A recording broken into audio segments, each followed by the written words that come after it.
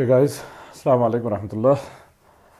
Chapter 23 Gauss Law, problem number 25, Halliday Resnick Walker, edition 10. Let me read out the question. An infinite line, uh, uh, line of charge produces a field of magnitude 4.5 into 10 to the power 4 Newton per coulomb at a distance 2 meters. Find the linear charge density. So we have an infinite line charge uh, which produces some electric field.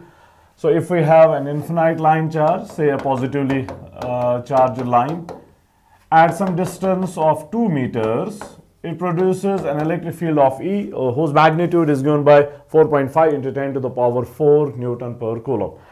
Uh, we need to find out uh, linear charge density. So we have to find out charge per unit length.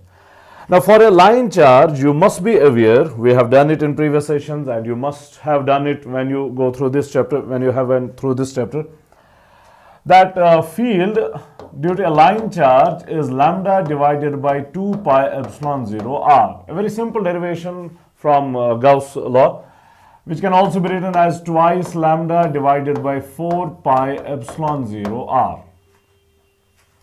So field is given to us okay electric field magnitude of the electric field is given. R is given. For 4 pi epsilon 0 we already know. Lambda we have to find out. Okay so it's easy. We can uh, just rearrange this equation here. So lambda is equal to 4 pi epsilon 0 r into e divided by 2 2 downstairs now 4 pi epsilon 0 r, we, uh, uh, you must be aware that inverse of 4 pi epsilon 0, 1 by 4 pi epsilon 0 is 10 in, 9 into 10 to the power 9 in SI system. So 4 pi epsilon 0 r is 1 divided by 9 into 10 to the power 9. Okay. So inverse of 4 pi epsilon 0 is 9 into 10 to the power 9. So we have uh, 4 pi epsilon 0 upstairs here. So we'll write 1 by 9 into 10 to the power 9. Then we have 2 in the denominator we have r upstairs. R is given is 2 2 meters. And field is given is 4.5 into 10 to the power 4 okay? 4.5 into 10 to the power 4 so simple.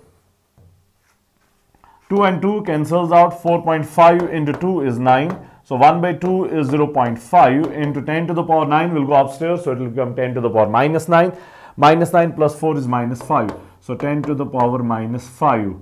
Uh, we have used everything in SI system. So what we get will also be in SI system. Lambda is charge per unit length. So we'll have coulomb per meter. Okay, SI system. Coulomb per meter. Or this can be written as, we can also write it as lambda is equal to 5 into 10 to the power minus 6. Okay, 5 into 10 to the power minus 6 coulomb per meter or 5 microcoulomb per meter. Okay 5 microcoulomb per meter. So this is line charge density of this uh, uh, of this line charge. Okay that'll do for this session